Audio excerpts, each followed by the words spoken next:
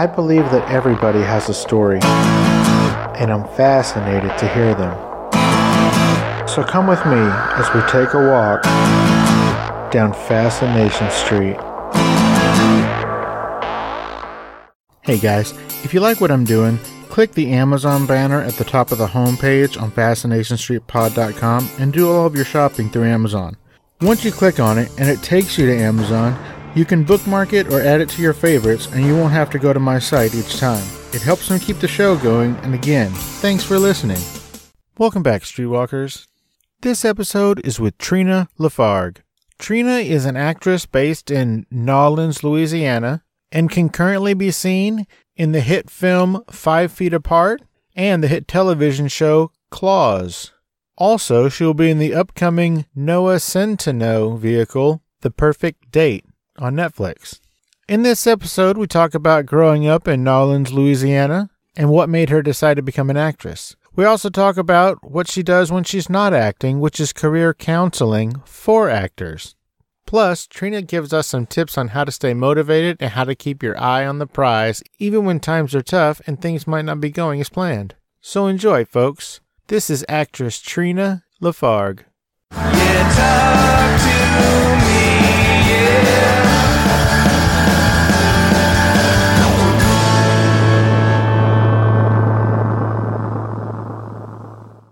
Welcome to Fascination Street, Trina Lafargue. How you doing this afternoon, Trina?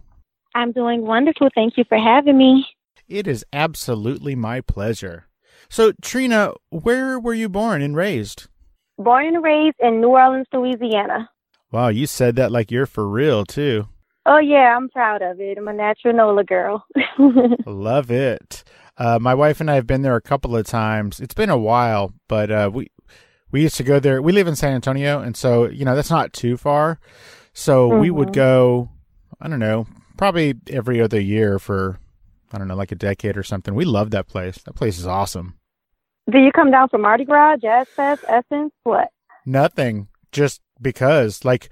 Just because. Yeah, we don't. We're not really. Let's go throw beads at people like in a giant crowd. We're not those kind of people. We're sort of like the kind of people who will go there and spend a few days and just go eat all the good stuff and just walk around mm-hmm. and look at the beautiful city. That's us. Well, the good thing is there's always something to do. Even if nothing's happening, something's always happening. So I'm sure you enjoy it either way it goes. Absolutely. And when nothing's happening, there's like a jazz funeral down the middle of the street. Right. There's some type of second line for a wedding, a funeral, whatever. It's always a celebration. That's right. It's crazy. I love it. I love the atmosphere and how friendly and warm everybody is. Um, well, I've never been to San Antonio. So, like, help me out. What can I come see there? Well, of course, we have the Alamo. Mm-hmm. Um, we have the best Mexican food, in my opinion, in the entire country. really? Yeah, San Antonio is uh, pretty well known for its Mexican food. I love Mexican. That's my favorite type of comida. I love it. I love it. I love it. Well, that's just because you've had your fill of etouffee and Creole and all the good stuff. You're probably right. so you were born and raised in NOLA. Are you a first generation New Orleans girl or is it like a long line of family? It's a long line of family, Steve. All of my my people are here. I don't really have family across the state or the country. Everyone's focused in New Orleans and I love it that way. That's really cool. That speaks again to how awesome New Orleans is, is that nobody ever wants to leave. Oh, it's crazy. It's it's kind of hard to leave. It's like quicksand, but you get the party in it. you just get deeper and deeper into New Orleans, and That's before funny. you know it, it's like, oh, it's been ten years. I should probably venture out to a different part of the map. yeah, I should go see a different part of New Orleans. right. I should go visit Metairie. you get it, West Bank. Yeah, let's do that this weekend. you totally get it. Yes, I, I love that town. So, did you go to college? I did. I went to the University of New Orleans. Oh, to be and what? I should. That's what I was going to say.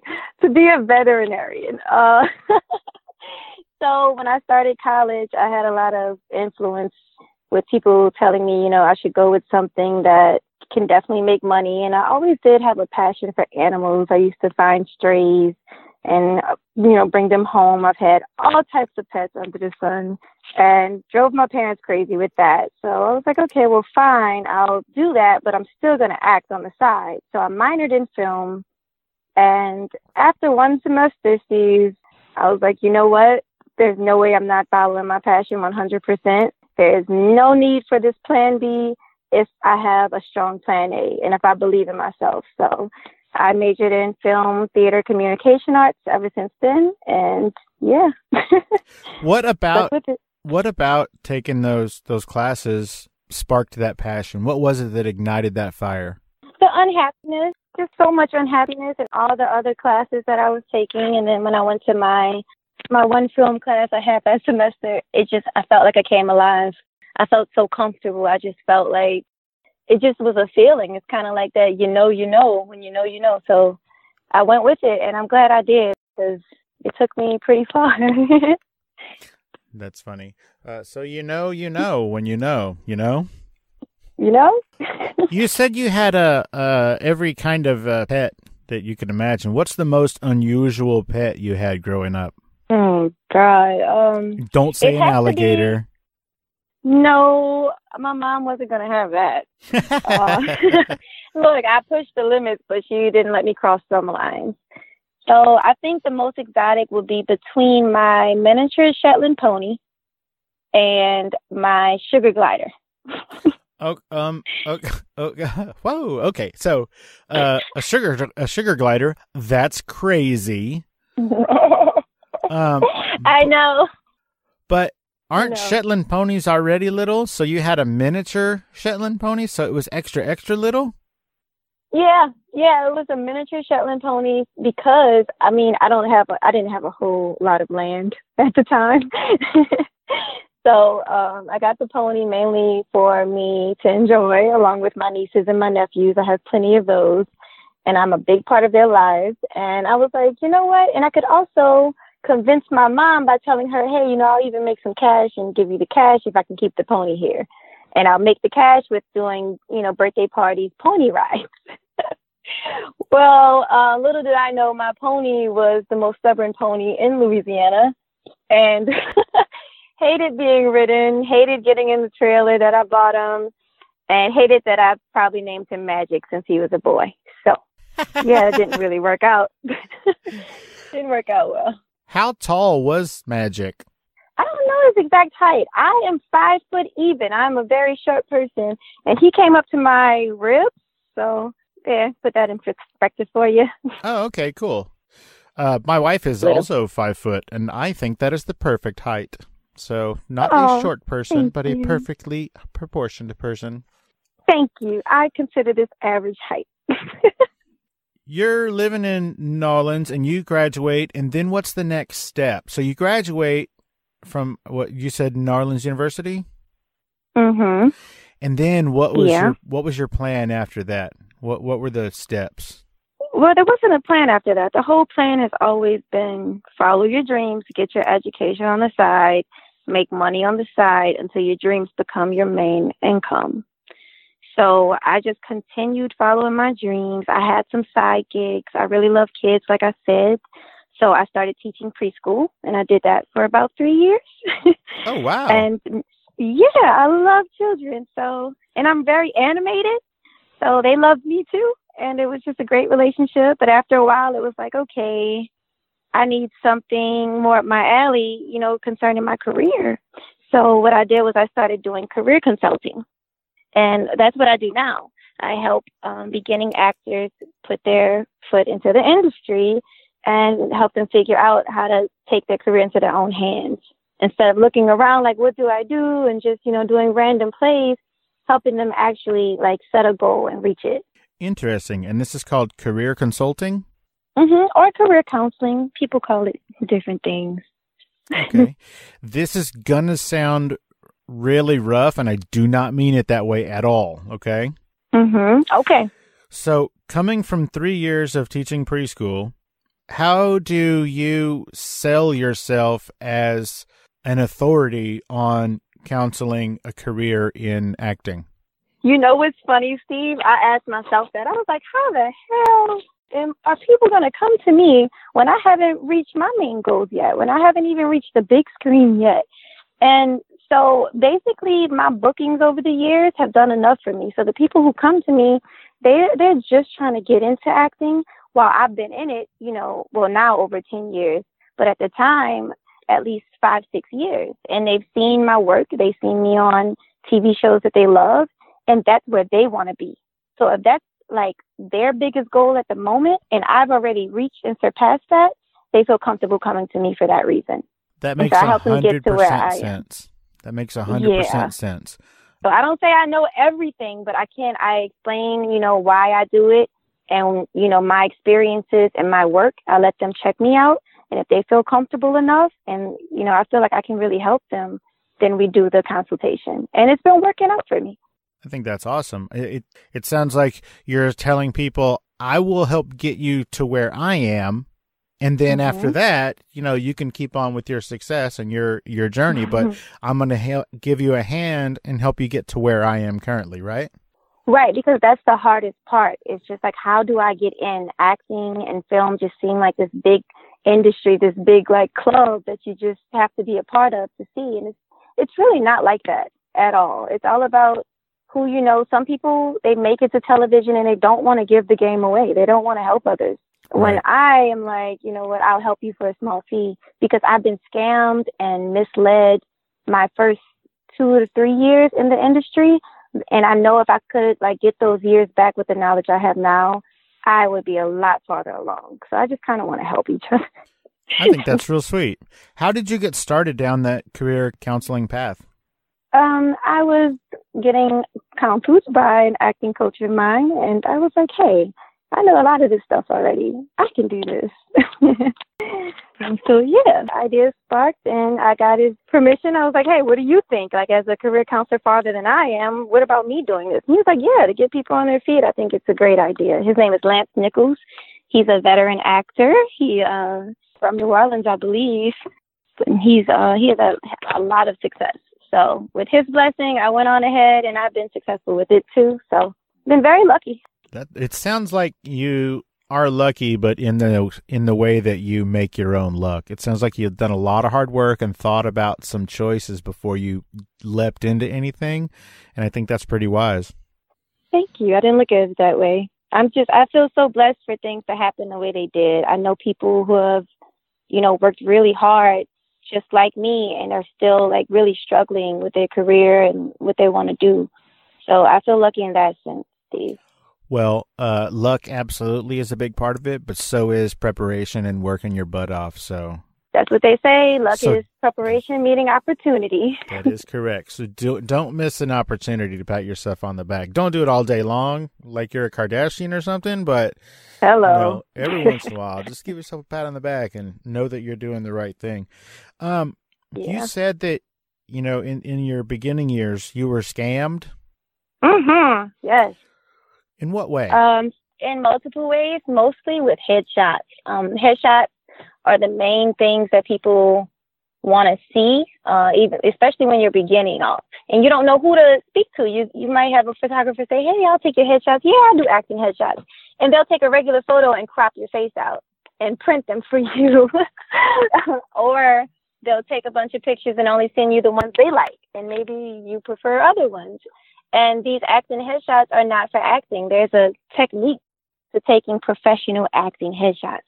So that that was one thing. Another thing, um, and headshots are expensive, so they're like four or five hundred dollars that you've wasted, and you didn't even get what you paid for. And the casting director is looking like, oh no, this is not on the right paper. This is not a headshot. What is this? So that was very embarrassing to go through that. Uh, also with classes, people say they teach acting, but they haven't had any experience doing it themselves. or, um, you know, all those auditions you pay for hey, you're gonna, you know, be in front of all these agents and you're gonna audition for this Disney commercial and you pay money and you wait in line with hundreds of people and you never get a call back. Or you get a call back and they say, Oh hey, you made it to the callback. Now you have to pay this much to be seen again. so it's just ridiculous what people will go through. They will really prey on young dreamers. And I just kind of like to set the bar straight and say, you know, this is what you should look out for. Don't ever pay for an audition or an agent or anything up front besides classes. And you have to know that they are legitimate. So I've been scammed multiple ways. Wow, that is heartbreaking. It is, which is why I want to help so much because I'm like, guys, you don't have to go through all this struggle that I did. I promise. That is so sweet. Um, so let's talk about let's talk about you getting into uh, the business. What was your first role in front of a camera that you got excited about? Steve, wait, did, that I got excited about or that Well- I had in general? Let's say in general, and then we'll go with the one that really made you um, know that you were on the right path, that you had chosen the right career. So first, what Oh, was your first what was your first one? Yeah. The first one was a student's film at the University of New Orleans because before that I was doing a bunch of theater and then I got into training for film. So once I booked a student film, I actually booked the lead part for the role of Ada. and you can actually find this silly film on YouTube. And it's about New Orleans and it's about voodoo. And I play the main character and I, I die at the end and it's it was a really epic role to say it was my first time in front of a camera. So I'm kind of embarrassed looking back at the film because I've learned so much more about acting since then. But it's also cool to look back and say, wow, look how far I've come. And I booked the lead role the first time I booked anything. So that was amazing. That's really cool. What was the name of this film? it was called Paint the Town Dead. Instead of red, it's Paint the Town Dead since it's a like a voodoo type of film. Sure, Paint the Town Dead. Spoiler alert, uh, you die. Yeah, I die. I die, guys. You'll be very surprised how, though, so I didn't spoil it too much. Oh, interesting. And what was your first paid gig? Was that one paid or was that just student film free stuff? That was just student film free stuff. They did give us a small, um, a small little something something, and they fed as well. So yeah. Uh, so for my first paid gig, again another epic role for a first time thing, and the people I worked with were unbelievable because I actually knew them and recognized them from TV. So my first role was with Breakout Kings. That is Uh-huh. a series that comes on A and E. It comes on right after Law and Order, I think, usually. And on the episode, I was actually starring, co-starring with Omari Hardwick, who is now the star of the hit TV series Power. Oh, And so, yeah, I already knew of him then and had a huge crush on him. And I was like 17, so it was a little weird, but I got to work with him. And now that he's doing Power and is blown up, it just, I mean, it just adds value to that experience for me, you know? absolutely. That's really cool. And in the episode that we we star in, he kidnaps me. Like he puts a pillowcase over my head, picks me up, and physically throws me into a vehicle. So No, no I mean, stunt actress. they had a stunt actress, and I I was like I refused to let her do everything. I was like I want to do this. This is exciting. I'm I'm in character. My character would do this, and I'm not afraid. It's not hard for me to get thrown into a car. Not afraid of that. Uh, there was also a scene where I had to run out in the middle of the street in front of a moving car that slammed on its brakes, and they wanted the stunt double for that. Now they made her do that part anyway, but I also did it. So I was like, I'm still going to take my chance and be on screen for this too. And uh, yeah, I did that as well. I also had to jump out of a window. So a lot of stunts happened that I got to do for my first booking, which was unbelievable. Also, while having a crush on the man doing it, so I'm like, okay, yeah, throw me in the car, but I have to, you know, of course, act like I'm being kidnapped. So that was a challenge. you had to act like you didn't like it. Right. I'm like, you know, take me, take me, but then, you know, gotta, get back in character, Steve. You always got to get back to character. that's funny.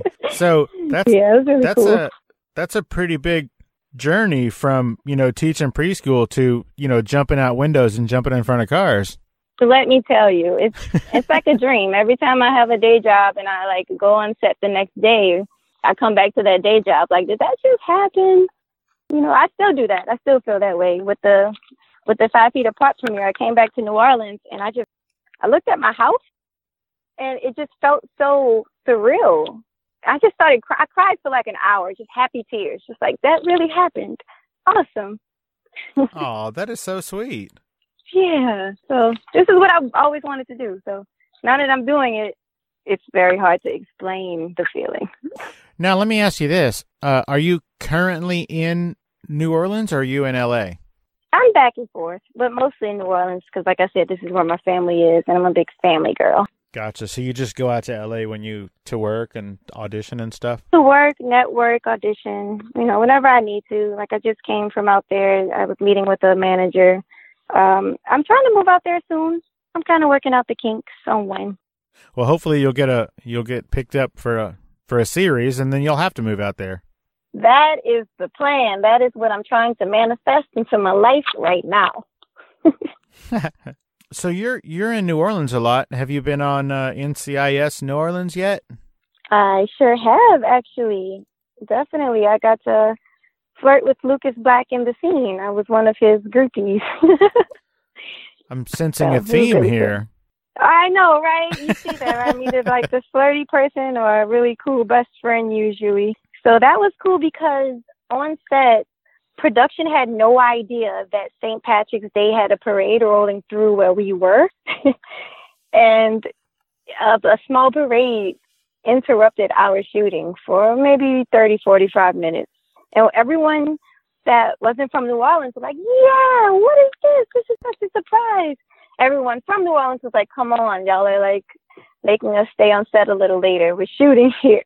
But I enjoyed it. Me and Lucas Black caught a cabbage from a float, and it was just a very memorable experience with NCIS New Orleans. Very cool. Yeah. A, a little birdie told me that you also love to act in the theater. I do. I love theater. Um, it's honestly been a minute, been a minute, but I started in theater, and I just feel like it's the most organic form of acting that you can get. And I have so much respect for the thespians out there. And I, I'm trying to get back in it now. I'm trying to find the time with everything that's going on. But theater was my first love and probably going to be my last love. I feel like uh, stage acting is the most acting that you ever do all at once, you know, because movies and TVs, they'll be 15 seconds up to maybe, you know, four whole minutes of acting. But if you're doing right. a play, you're doing two hours all at once. Exactly. With film, you're like your character gets interrupted, so it's harder to stay in character, especially when everyone's goofing around on set and just vibing. But with theater, you're forced to live in that moment and then once those curtains close, it's just this feeling like you just come out of your body like, whoa, where was I?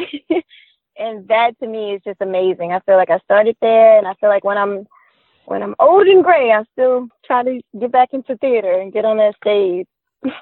that is hilarious.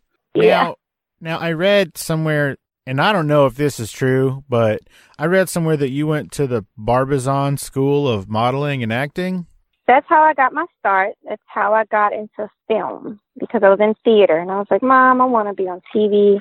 So we found this um, acting and makeup modeling training class called, and it was with Barbizon, and they they promised you a lot. Barbizon was one of those places where you kind of you make the most out of what you get there. So a lot of people didn't get agents through Barbizon, but I luckily did because once you graduate after a few months of going to those classes, they offer you an opportunity to compete with hundreds of actors and models. And they do it in different states each year. For me, it was in Alabama that year. And I was like, Mom, I got a letter from Barbizon. I want to do this competition. So she called, and lo and behold, they're like, okay, well, you have to pay your entrance fee, and that's 800 and something dollars. Whoa yeah, my mom, we talked about it for maybe an hour. And she was like, you know, I don't have this kind of money, but, you know, I believe in you and I want to support you to the fullest. So I'm going to do what I can to make this happen. And my parents are such a huge support system for me. And we made it there. And they just needed you to perform a some type of commercial and walk the runway a few times, like modeling. And along the runway would be, you know, maybe 50 to 100 different casting directors, agents, etc. So I went to the competition and I did my, you know, my five foot model walk along the runway and studied my stuff, my different outfits, and smiled at all the people that I seen, you know, along the runway. Tried to be as commercial as possible.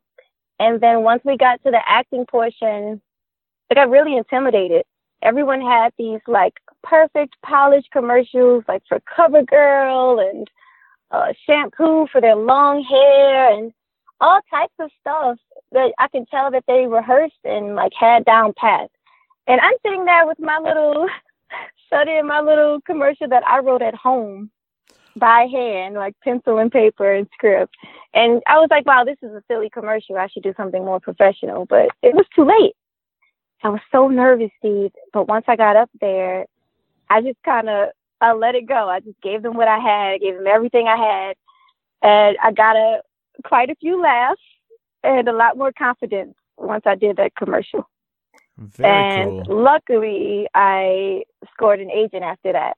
There were about six agents that were interested. Only one was in New Orleans. So me being like, you know, 18, 19, I'm like, okay, I have to go with the one here. And I've been with her ever since. I've been with Talent Connection Agency ever since. Well, congratulations. Thank What you. what made you decide to write your own commercial instead of, you know, just rip one off like everybody else did? Eh, I don't know. Just wasn't working for me. Everything I read online, I was trying to find something online. They had so many short monologues, short commercials, commercials I could perform. And my mom seen me kind of stressing. She was like, "Well, don't worry. You know, maybe you should write your own." And I was like, "No, mom. You know, that's lame. I'm not going to write my own." Well, that night I stayed up all night, crumpling up papers and throwing them across the room until I, I heard my dad snoring. And I was like, somebody needs to fix that. That would be cool if they had a commercial for something that could help my dad with his snoring. So I just wrote a commercial, like a funny duct tape commercial about Trina's specialty duct tape that helped, you know, specifically dads with their night noises.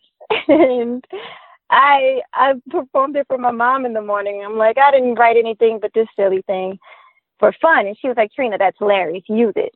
So I used it and it worked out for me, I guess.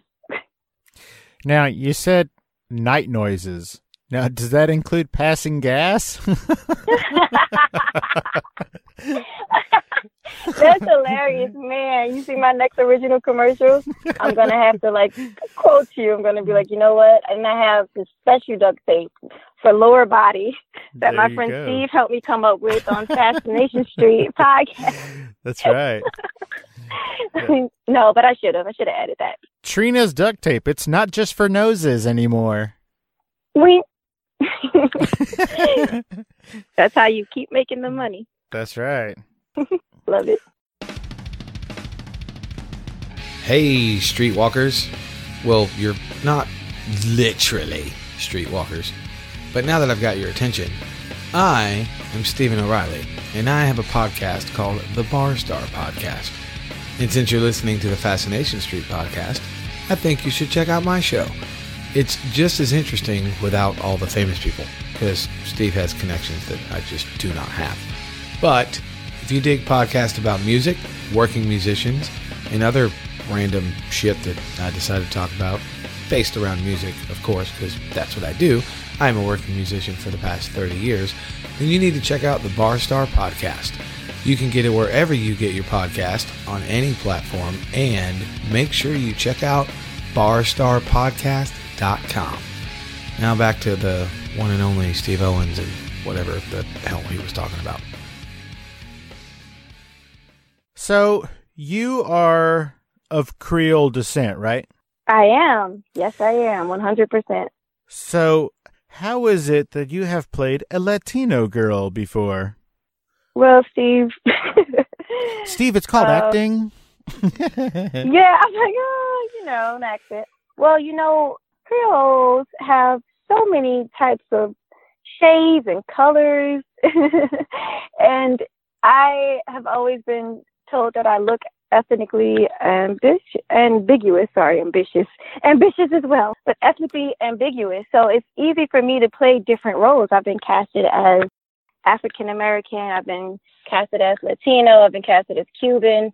So it's really cool because I get to study those cultures when I'm studying that character to help me out. That- and that it is really cool. helps me get out of my own self, you know? Yeah, you get to dip your baby toe into somebody else's whole culture, like you said. That's really cool. Yeah, I love it. I love it so much. But yeah, apparently most people think I am of Latina descent, so I just roll with it, and I've been trying to learn Spanish because of it. oh, nice. So let's talk about standing up, which is that that acting job that I referenced. Uh, mm-hmm. what, what can you tell me about that? How long ago was it? Uh, I think that was the second thing that I ever booked. So, oh, wow. you know, over five years ago, over six years ago. I, I could tell you the exact year, but not at home with all my acting stuff. I hang up all my call sheets and my scripts all over my room. There's nothing else on my walls so that I'm immersed in my art and I can just look at it and say, okay, I did this this year. Anytime I'm lacking confidence, I can just look up at my wall. So I can't tell you the exact year, but that was filmed in Georgia in the mountains, so high up in the mountains that there was just like a constant cloud around us. It was just always misty. Wow. It's a beautiful spot, beautiful spot. And the film takes place, the most of it takes place at a summer camp. So that's where it was set. So it was really cool because the place where we were filming was so abandoned. There were people there, there were a lot of talented people, but it was so unadvanced tech- with technology. They didn't even have public transportation where we filmed. So it was a real like escape for me and I really felt like I was in that camp, like I was immersed in that camp. And I'm sure my parents came along, but you know, when you're filming on set, they're nowhere to be found. And it was just really cool because I felt like, wow, I'm one of these kids at this summer camp. I've never been to summer camp. This is awesome. So it was like a really cool experience, especially playing a Latina girl with a lot of attitude. So that was fun. Oh, a lot of attitude. Yeah, most of my parts require me to be very spunky. So I guess I can say I naturally hold some spunk within me as Trina, because apparently that's what they see me as, and I'm happy for it. I'm rolling with it. I guess so. That sounds awesome. Yeah. I really, really like that you put your work on your walls. That's really, really, I think, a good tip. You know, like you said, to kind of help people stay motivated and to not lose sight of what they have done. I, I think that's really, really a great idea. Where'd you get that idea from? My own head. I I went through so many periods of doubting myself because as I mean, you don't get a lot of bookings. You get more rejections than you do bookings, and the rejections are silent. So you're just waiting and waiting and waiting because it can take up to a month for someone to call you back and just say you have a call back or you've been booked. So it's a waiting game. And just after going through those periods of being down because I'm waiting and I'm like, oh, I've auditioned 50 times and I haven't heard a thing. I suck. And then, you know, I realized I can just look up at my wall and see what I've done. And even doing these interviews and this interview, especially with you, Steve, has made me realize how far I've come and how proud I should be. And so I've always had a problem with that. I've always had a problem like patting myself on the back, like you told me to do earlier in the interview. So hanging that up on the wall always helps me with my confidence. It reminds me how far I've come and how gracious I should be for all the experiences that I've earned. Well, I think that that's a great tip for everybody really is to put your work on your wall so that you can see it and you can see your progress and you know, the industry that you're in has a tendency to just beat the confidence out of every single person in that industry. And so I think that's a really good way to fight that. And I love it. I think that's wonderful. Yeah, it helped me grow some thicker skin. So now I don't wait for the auditions. I kind of I do my audition and I let it go. And if it's meant for me, you know, I'll I'll be called in for a callback or something. But after so many years of acting, you learn to just audition and let it go. And always, always, always be grateful and be proud of how far you've come, even if it's just a student film. Because for a long time, I just had that one student film under my belt. And that gave me confidence to, you know, book that next role with A&E on Breakout Kings. So, you know, you just look at where you've been and it'll help you get where you want to go.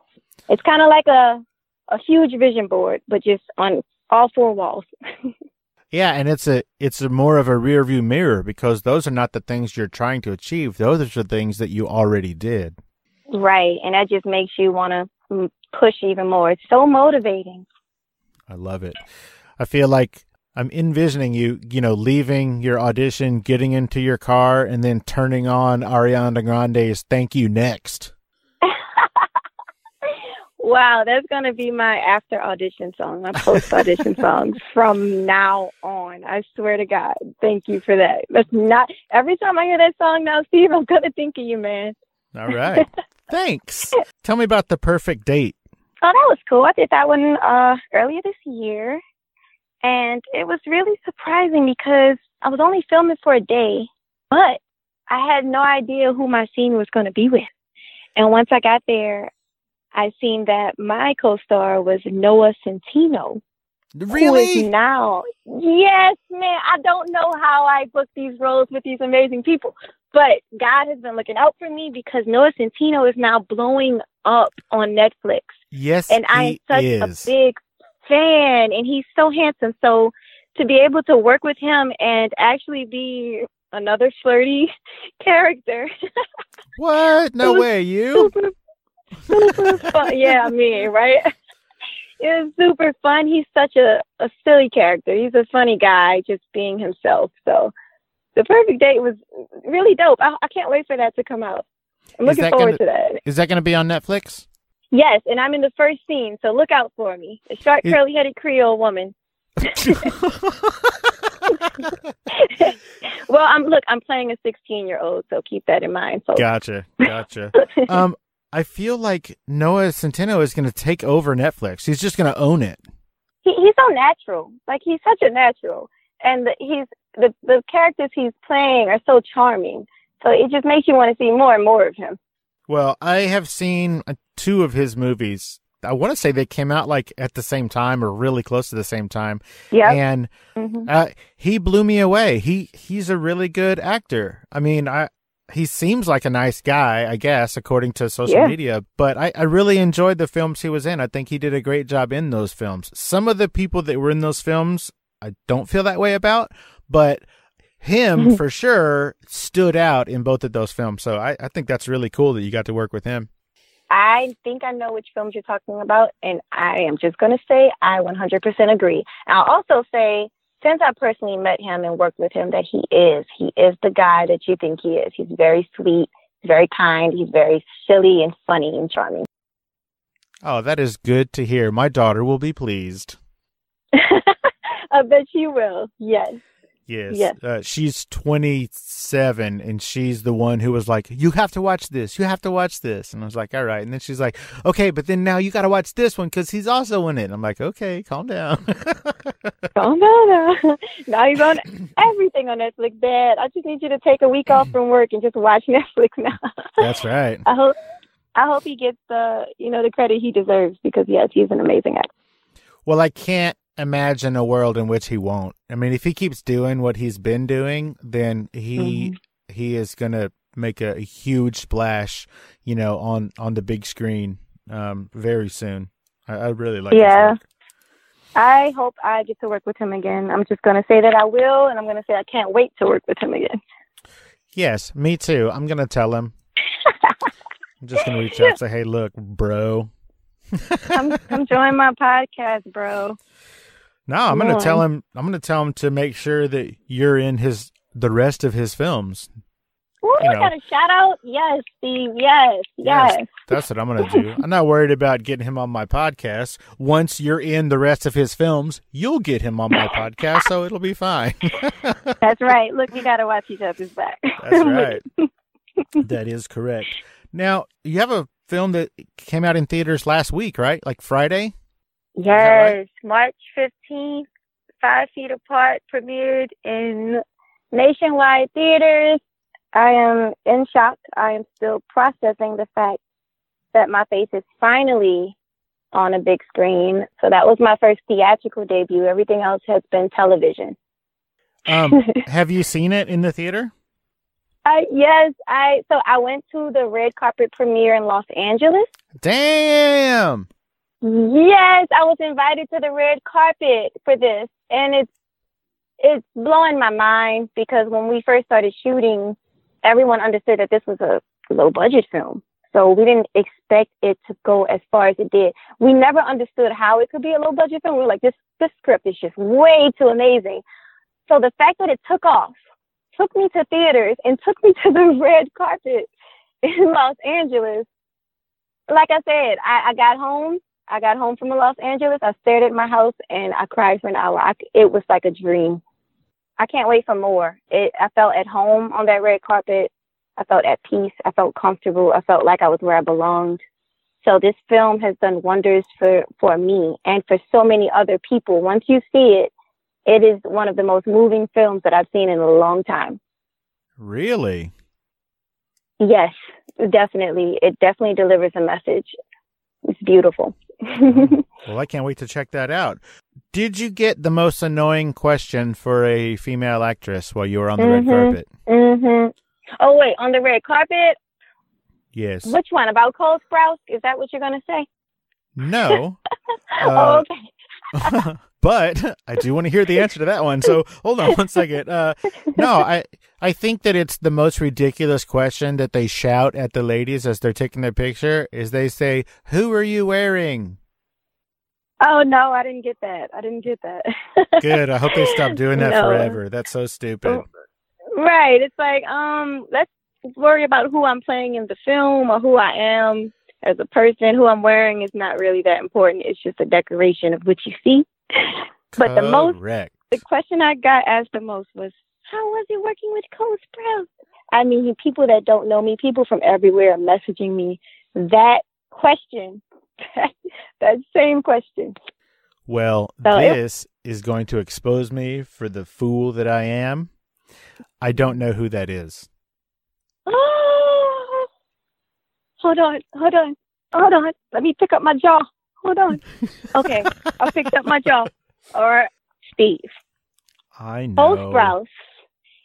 Cole Sprouse is one of the Disney stars from Sweet Like Suite Life of Zack and Cody with the two twins who live on a yacht.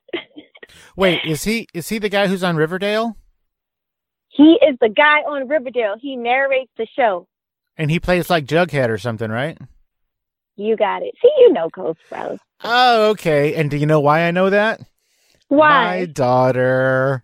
of course. of Look, my niece is seven. She's seven, and she's never had a crush on anybody. She always says, "Boys, ew." Steve, she's seen the movie, and she has been quoting lines. Once again, she's seven. She has been quoting lines from the, from the script. She has drawn drawn multiple pictures of him. She has looked him up on my phone and asked me like if I got to touch his hair. like people are obsessed with this guy. and He's handsome, and he's charming, and he's he's another really amazing actor. I love his sarcasm and his wittiness. So I don't blame them. But yeah, that's the question. How, how was it with Cole Sprouse? Well, let me throw you a different question. What was it like to see your face ten feet tall? Um, I was in such shock that I didn't cry for the premiere. Um, and you'll understand once you see the film that it was a big deal that I didn't cry.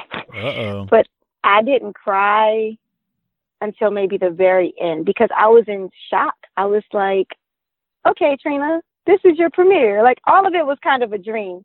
So to see the movie starting was like, I'm just warning myself. I'm like, okay, pay attention, pay attention. And the whole time, my eyes are huge, my jaw is on the on the ground, and I'm just into the movie. I'm into it because I've seen the script, I've read the script, I've fallen in love with the script and the characters. But when you're on set, you only get to film X amount of days. You don't get to see the whole filming of the whole movie right. unless you're the main character. And even sometimes then you can't. So to watch it all come together was a shock.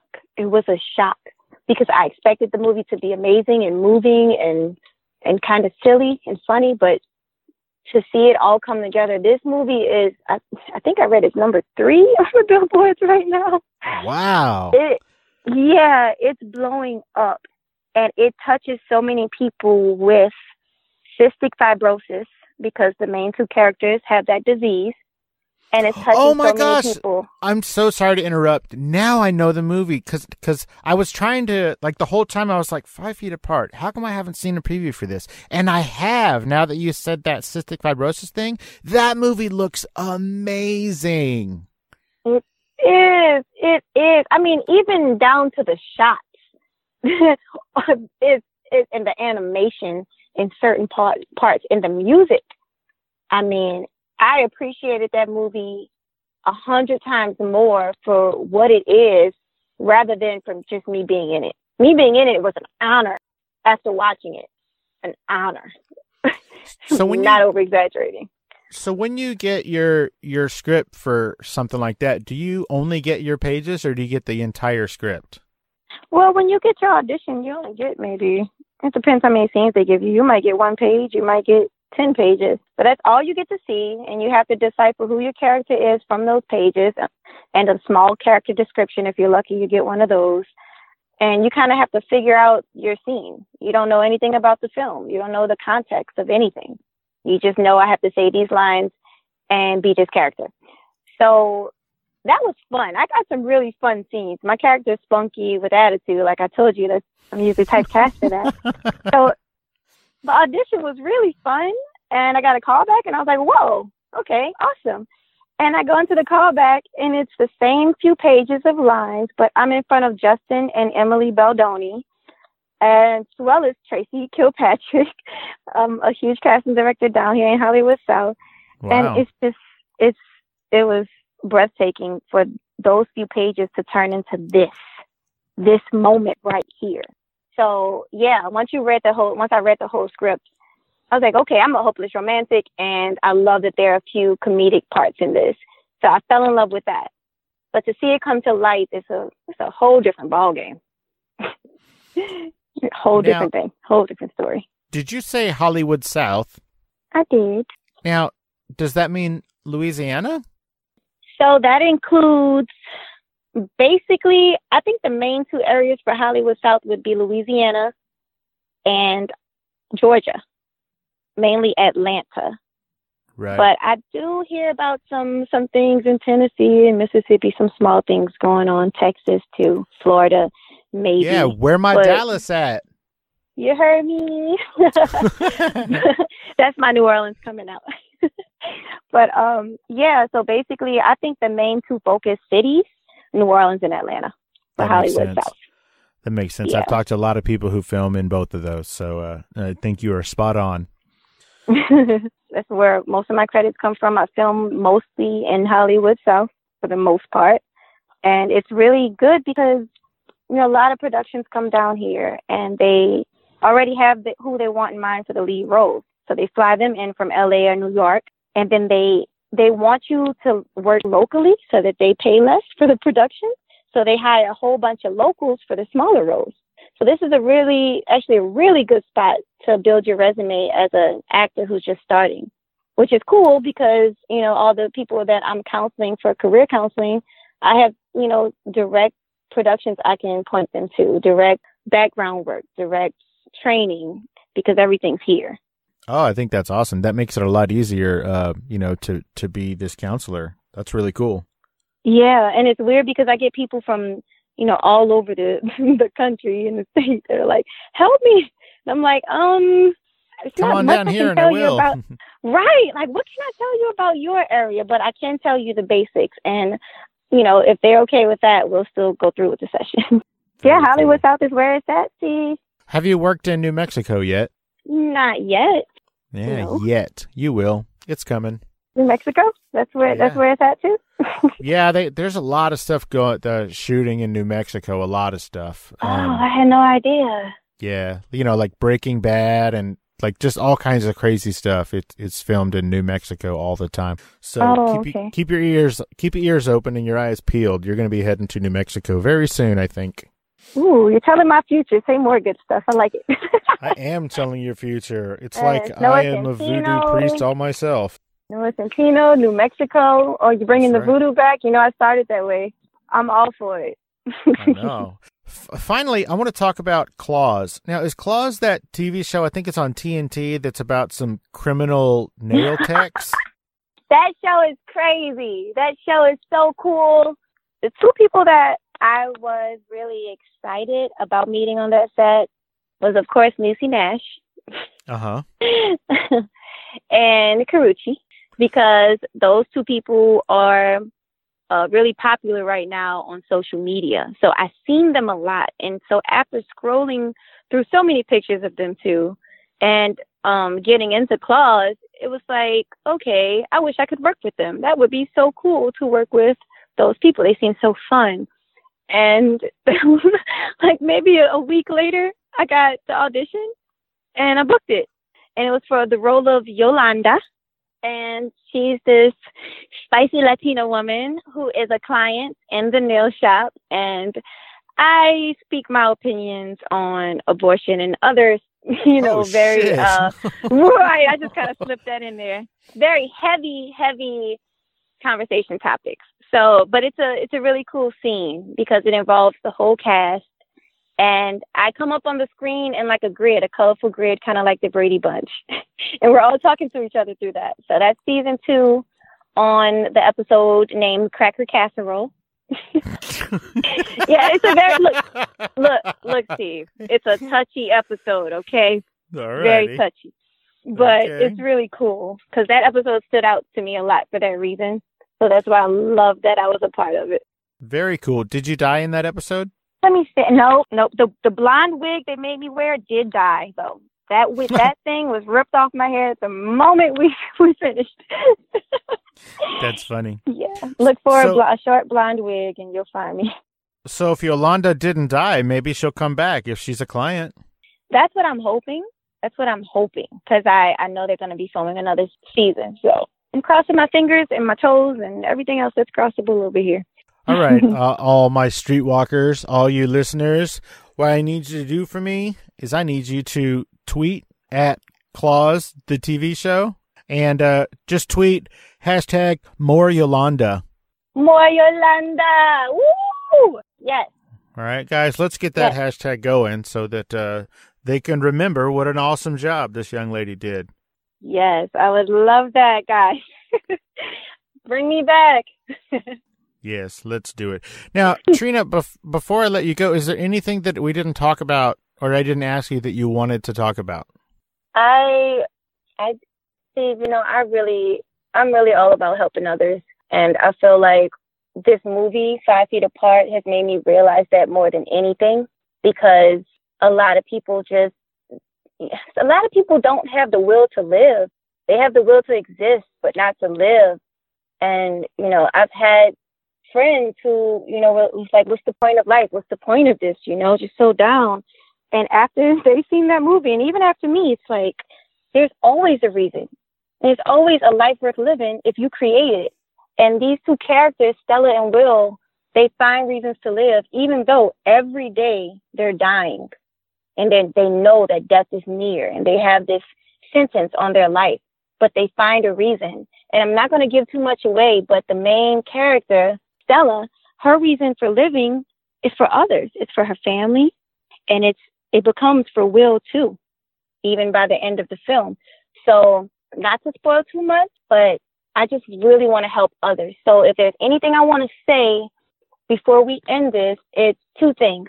I want to tell people what they should do and shouldn't do if you're looking to get into the industry.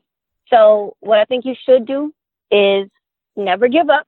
Post your work all over like I did. Never give up and never let anyone tell you that you can't do something. So many people are like, oh, but I look like this and I have to be this tall. And it's like, no, no, not at all. Acting is literally the imitation of life. And so life and stories consist of all shapes, sizes, and color people. And so it's a, a need, a need, especially for the people who feel like they're unattractive even, you know, because though all, all looks are needed. So don't ever let anyone tell you you can't because you can. Uh, I've, I've been a witness of that. And my second thing that I want to say is just keep at it. Consistency is key. I've been at this for 10 years and I'm just now seeing myself in a movie movie. Although I've had so many blessings along the way that I've earned, each one gets you a little farther. And I've gone like months and months without hearing anything or working. But if you just stay consistent, you keep knocking at that door, that door has to open. It has to. the force that you're going to put on it is going to open for you and opportunities are going to be presented. So just be prepared and take them and keep, keep planting them seeds because eventually little flowers are going to start to bloom every now and then. And, and then one day you're going to have a huge tree. And so I'm working on my flowers right now, Steve. But I want everyone else to to not give up, stay consistent, because when you plant seeds, they have to grow. Just water them. That's all I can say. I love it. I do want to point out that when you were talking about some of the things that you've done, you did you you said that you're blessed and that you earned them. So thank you. I feel like I'm getting through to you. You're taking a little You bit of that credit. Good job. You did earn those things. Um, you sound like my parents. They're like Trina, you you're doing great. Like tell like you need to realize that. And I'm like, but That's I want more. I'm so ambitious, but also just so grateful for for where I've been. Well, I think that is a, a, a great attitude to add to your, your spunky spitfireness. Hey, yeah, ow. And now you, you did say a minute ago, you said, you know, some people say, oh, well, you know, I have to look like this or I have to be this tall or I have to be this color. Everybody listening, whenever you start feeling like that, I want you to look at Danny DeVito and remember he's had a 40 year career. Forty years. And he's great, years. but he is not traditional in any sense of the, the word in, in the Nope. acting business. So you don't have to be anything. and so many people start late. I mean, look at Taraji P Henson blowing up at her age. Not that she's old, uh, you know, Dang, but you said at her you know, age. she has been at it a while. That's all I'm saying. She and has. That's the truth. man, nothing can stop you. In no, Only you. can stop you. Only Yeah, you can you. stop you. You can stop you, yes, but nothing and no one else but yourself. Just remember Well- that. Trina LaFargue, I think that is a great thing to go out on. Can you tell everybody real quick where they can find you on social media? Yes, please follow me on social media. Guys, my follower count is not great right now, so help me out. So my main account is with Instagram, and I'm just gonna spell it out for you really quick. It's just at my name, my name is spelled T R I N A L A F A R G U E, Trina LaFargue. So yeah, that's that's it, guys. Please follow me. Tell people to follow me. I give great content. I love to motivate, and I can't wait to hear from anyone who's here, who's listening right now. Facebook Alrighty. and Instagram. Gotcha. Facebook and Instagram. Trina LaFargue, thank you so much for taking the time out of your busy day to hang out with me and, and let me get to know you a little bit better. It was my pleasure. Thank you for having me on the Fascination Street podcast, Steve. It was our pleasure. Thank you so much, Trina. You have a great rest of your day. Thank you. You have a better one. Haha. All right. Bye. All right, bye bye.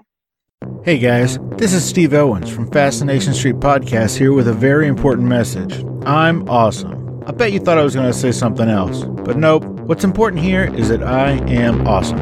I started this show because I truly believe that everybody has a story, and I'm fascinated to hear those stories. In the short time I've been doing this show, I've interviewed actors, directors, writers, inventors, podcasters, musicians, pro athletes, Olympic athletes, actual war heroes, even a Bond girl and a luthier, whatever the hell that is, and of course, regular people. From people who wanted to be stars but never gave it a real try, to big company CEOs and people who got to meet their favorite president. I love getting to meet and speak with people who have a story to tell. I feel like everyone does, and it's my job to get them to tell it. You never know who my next guest will be an Academy Award winning actor, a platinum selling musician, or your own mother in law. But one thing is for certain you will be fascinated by their story. So come take a walk with me down Fascination Street. You can find Fascination Street Podcast on Apple Podcasts, Google Play, Spotify, iHeartRadio, and of course, FascinationStreetPod.com. Opening music is the song Magnolia from the 2014 album Intransigence, used with permission from Douglas Miles Clark. Closing music is Apollo from the 2001 album Into the Known by the band Sapphire. Thanks for hanging out with us and getting to know a little bit about our guest. We'll see you next time on Fascination Street.